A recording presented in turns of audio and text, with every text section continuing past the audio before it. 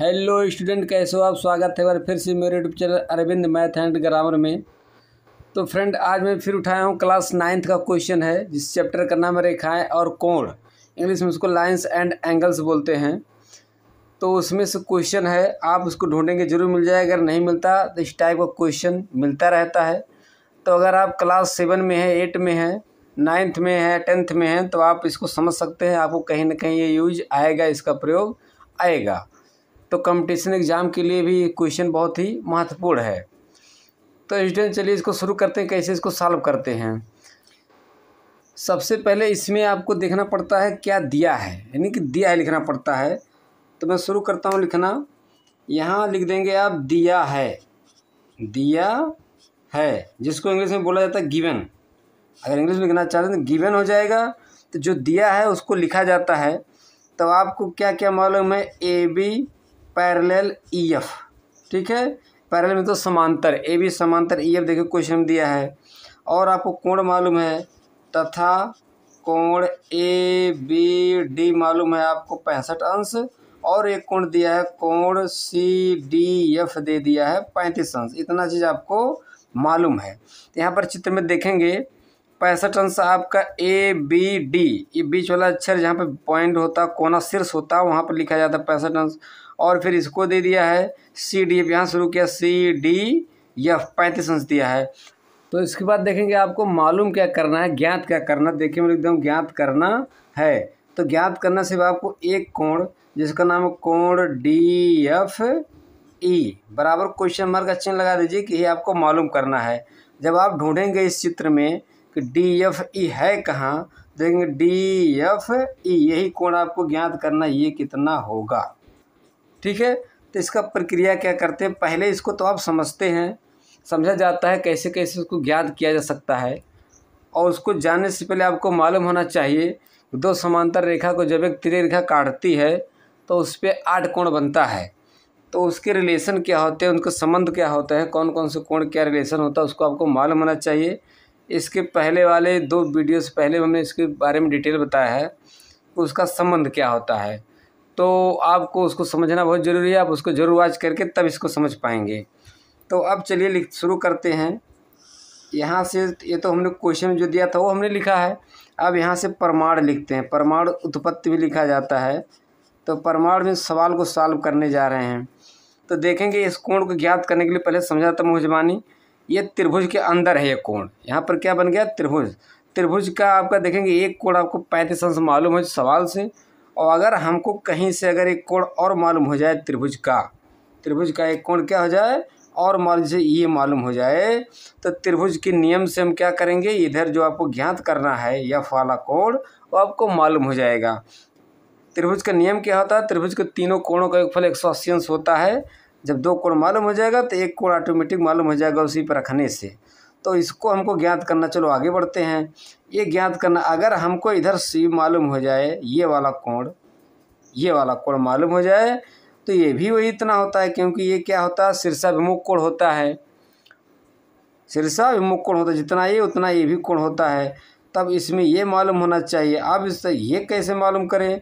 तो देखेंगे एक क्लू दे दिया पैंसठ अंश। क्या दिया है? पैंसठ अंश। और इसको इसने गिवन में दिया है कि ए बी समांतर ई एफ़ है। देखिए देखिए क्या दिया? ए बी समांतर ई एफ़। ये समांतर रेखा है।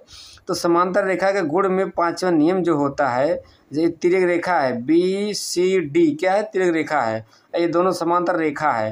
जब तिरक रेखा यहाँ पर हम समझाने के लिए बढ़ा दे रहा हूँ कि ये देखिए, ये आपका बन रहा है क्या? ये आपका दो रेखा हो गया और यहाँ पर ये जो काटा है ये रेखा, ये तिरक रेखा माना जाता है। देखिए, दोनों समांतर रेखा को काट दिया है। तो ये जो अंत कोण है दो ये जो पैंसठ अंश सी वाले का अंत कोण तो तिरक रेखा के एक ही ओर के अंत कोणों का योगफल एक सौ अस्सी अंश होता है। तो आपको मालूम रहेगा तो इसको सॉल्व कर ले जाएँगे। तो इसको शुरू करते हैं। तो सबसे पहले हम क्या करेंगे, यहाँ से हेल्प से इसको करेंगे। तब देखे तो सबसे पहले लिखे दो समांतर रेखा। आप चूँ का चिन्ह बना दीजिए, चूँकि आप देखेंगे A B parallel E F है। ये भी पैरेलल है। यानी कि दो समांतर रेखा है। लिख देंगे, तथा करके लिख दीजिए, आपका बी सी डी सीधी रेखा। बी सी डी एक सरल रेखा है। कौन सी रेखा है? सरल रेखा है। ये क्या है? सरल रेखा है। ठीक है? इस नाते क्या होगा? इस दोनों कोणों का योगफल क्या होता है? एक सौ अस्सी अंश होता है। कौन कौन सा कोण ए बी डी चलिए देखिए क्वेश्चन में ए बी डी दिया। हम ए बी सी तक लिख सकते हैं। तो चलिए ए बी डी लिखते क्योंकि क्वेश्चन में दिया है। तो लिखेंगे, इसलिए इसलिए क्या होगा? A B D A B D plus इस कोण को सी को लिखने के लिए चलिए लिख देते बी सी ई कोण? बी सी ई, हमने लिख दिया बी, सी, ई। दोनों का योग होता है एक सौ अस्सी अंश होता है। तो अगर हम कह रहे हैं इन दोनों कोणों का योगफल एक सौ अस्सी अंश, उसका रीजन देना पड़ता। है आखिर में किस फैक्ट से, किस रीजन से आप कह रहे हो?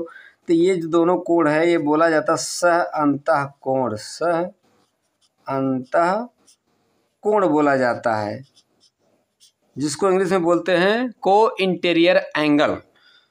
तब इन दोनों कोडों का फल सस्टेंस होता है, ये मालूम है? तब अब आपको देखेंगे दोनों में से एक मालूम है। ए बी डी आपको मालूम है क्वेश्चन में दिया है, पैंसठ तो इसके जगह पे हम लिख देंगे कोड का चिन्ह नहीं बनाया। इसके जगह पर पैंसठ अंश लिख दीजिए प्लस और यही आपको मालूम करना है कोण बी सी ई छोड़ दीजिए, बराबर एक सौ अस्सी अंश। अब इसको पचहत्तर करेंगे कोण बी सी ई बराबर एक सौ अस्सी, ये प्लस से उस तरफ़ जाता माइनस हो जाएगा। तब अब आपका आ गया कोण बी सी ई बराबर हो गया आपका। पैंसठ में जब आप पंद्रह जोड़ेंगे तो हो जाएगा अस्सी यानी कि एक सौ पंद्रह अंश हो गया। अब स्टूडेंट, अगर ये एक सौ पंद्रह आया तो ये भी क्या होगा? एक सौ पंद्रह अंश होगा। उसका रीजन आपको देना पड़ेगा आखिर में अभी एक सौ पंद्रह, इसको क्यों एक सौ पंद्रह कह रहे हैं? तो मैं इसको लिख देता हूँ कि इसलिए इसलिए का चिन्ह पुनः बना दीजिए। कोण इधर वाला कोण, आपका देखिए यफ सी, डी, लेकिन आप पहले डी से शुरुआत कीजिए। ये तो पॉइंट बीच में रहेगा। जहाँ पर कोण बनता है, वो अक्षर को बीच में रखा जाता है। तब इसको लिखें, कोण, एक बार बना दिया हूँ, कोण डी हो जाएगा। डी के बाद आपको ये लिखना है, D C F, D C F. D C F भी क्या होगा? एक सौ पंद्रह होगा। ओके, अगर ये आपका है, इसमें क्या होता है? जब दो रेखाएँ एक दूसरे को प्रतिच्छेद करते हैं तो ये कोण इसके बराबर होता है और ये कोण इसके बराबर होता है। इसको शीर्षाभिमुख कोण बोलते हैं। तो वही हमने लिखा है कि अगर आपका इधर वाला मालूम हो गया, यहाँ पर देखेंगे दो क्रॉस काट रहा है। ये मालूम हो गया तो ये भी आपका दोनों बराबर होगा, एक सौ पंद्रह अंश होगा। और उसका रीजन आपको लिखना पड़ेगा। यहाँ पर लिख देंगे आखिर में हम कह रहे हैं, यहाँ पर सामने में लिख शीर्षाभिमुख कोण है, इस नाते कह रहे हैं। रीजन आपको लिखना पड़ेगा। शीर्षाभिमुख कोण।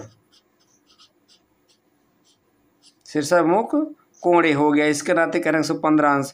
अब जब एक सौ पंद्रह अंश ये अंदर का मालूम हुआ, अब हमको इस त्रिभुज में जब एंट्री करेंगे, अब त्रिभुज में आपको दो कोण मालूम हो चुका है, एक पैंतीस अंश, एक एक अब एक मालूम है तो त्रिभुज के नियम से इसको ज्ञात कर लेते हैं।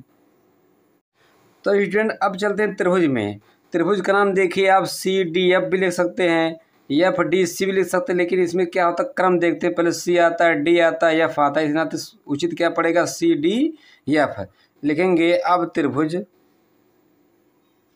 अब त्रिभुज सी डी एफ़ में, ठीक है? अब लिखेंगे हम जानते हैं कि, हम जानते हैं कि आप क्या जानते हैं?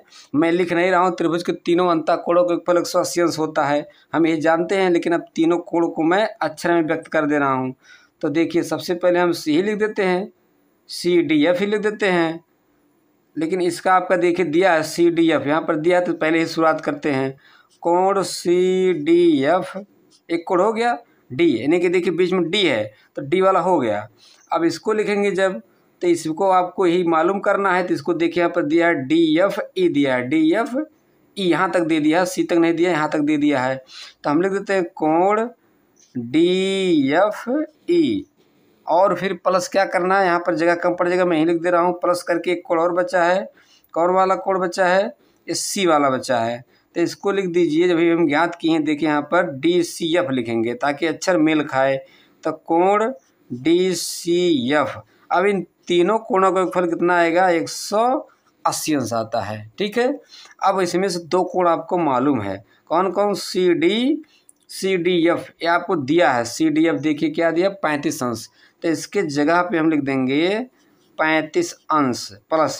कोण डी एफ़ ई मालूम है? डी एफ़ ई यही तो ज्ञात करना है तो इसको छोड़ दीजिए। कोण डी एफ़ ई और फिर प्लस करके आप लिख दीजिए। प्लस करके किसको लिखेंगे?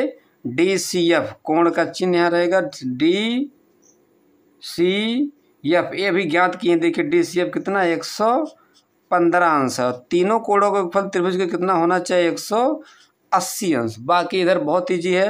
अब हम पैंतीस एक सौ पंद्रह को जोड़ लेंगे तो एक सौ पंद्रह पाँच हो जाएगा बीस और तीस पचास, यानी कि एक सौ पचास अंश। इन दोनों का जोड़ क्या हो गया? एक सौ पचास अंश हो गया। अब प्लस यही ज्ञात करना है, इसको लिखते रहिए डी एफ़ ई बराबर एक सौ अस्सी अंश तो अब पचहत्तर कर देंगे कोण डी, एफ़, ई बराबर एक सौ अस्सी। इधर है इसके चिन्ह पड़ता है लेकिन ये इधर प्लस से जब बराबर को उस पार गया, हो गया माइनस एक सौ पचास अंश। तो कोण डी, एफ़, ई बराबर कितना आ गया? तीस अंश हो गया। तो स्टूडेंट यही हो गया आपका आंसर। तो बहुत ही ईजी है। लेकिन इसको सॉल्व करने के लिए आपको इसके पहले वीडियो आया, आपको और मालूम होना चाहिए, क्या मालूम होना चाहिए। मैं बता देता हूँ थोड़ा सा कि ये देखिए, दो समांतर रेखा होता है, इसको जब तिरे रेखा काटता है तो यहाँ पर चार कोण बना। तो इसका रिलेशन क्या होता है? पाँच प्रकार के रिलेशन होता है। संगत कोण होता है, अंता कोण होता है, बाएँ कोण। ठीक है, इस प्रकार होता शीर्षक मुख कोण तो सबको आप मालूम होना चाहिए तो ज़रूर इसको वाच कीजिएगा, फिर ये सवाल आपको और बेहतर समझ में आएगा। तो स्टूडेंट इस तरह का वीडियो और मैं लेके आऊँगा, कई क्वेश्चन इस पर बताऊँगा। तो अगला वीडियो प्राप्त करने के लिए चैनल को ज़रूर सब्सक्राइब करेंगे बेल आइकन को ज़रूर दबाएँगे, ताकि जैसे मैं वीडियो भेजूँ, आपको तुरंत का तुरंत नोटिफिकेशन मिल सके। तो मिलते हैं नेक्स्ट वीडियो में वीडियो वॉच करने के लिए थैंक्स